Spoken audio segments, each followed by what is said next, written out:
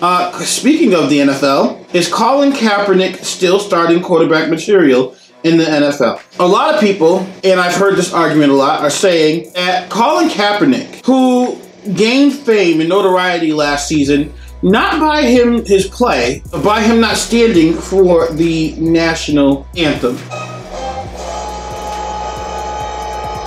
He got in a lot of trouble for it. He, he caught a lot of slack for it. A lot of people wanted him out of the NFL, and I don't agree with it at all. I think it was wrong for them to try to, or to suggest that he needed to be kicked out of the NFL. A lot of people were upset. But Colin Kaepernick was refusing to stand for the national anthem because, number, well, a lot of reasons. Number one, the Star Spangled Banner is racist as can be. Uh, number two, there was a lot of police brutality going on last year, this time last year. I know with Donald Trump becoming president, all this stuff seems like old news now, but if you can think back to last year where we've had uh, officers being found not guilty for shooting black people in the back, officers found uh, having hung jury and not being convicted for doing some of the most heinous things against people of color, black people namely, uh, he finally said enough is enough, and he said he will not stand for a flag uh, of a country that oppresses people and that keeps people down. A lot of people got upset about that. A lot of Americans got upset at that. Even some black men who fought for this country, veterans, even sat down and spoke to Colin Kaepernick about it, but he stood his ground and said he was not going to uh, stand for the national anthem. He did announce before the end of the season, or right at the end of the season, that he was going to stand for the national anthem. He was going to uh, stand and